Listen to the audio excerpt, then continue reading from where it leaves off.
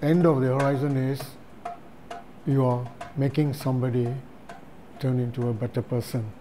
So with that focus, uh, I think that uh, is the start engine for you to move on mm, right through. So I think it is not a, as you say, it's not a bed of roses, but the uh, pleasure of uh, helping out others is there.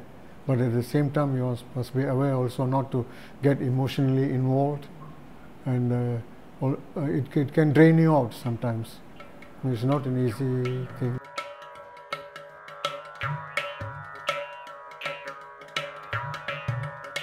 At this moment, both of us are healthy, and and doing together is even better, because we have our quality time together.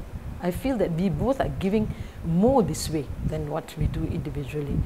So I think it's worth it, and um, and, uh, and and don't let the pioneer generation, especially, you know, think that we can't do anything.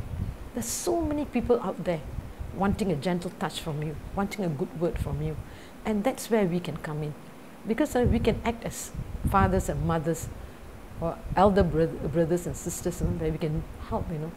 And it's very important because we're always there. We're of use whichever age you are. It doesn't matter whether you're young or old. I think in life the most important thing is that we have to look around to see what is happening. And uh, we have come this far 50 years as an independent nation. But uh, how many times do we pause to look around to see what is happening, the good things that are happening.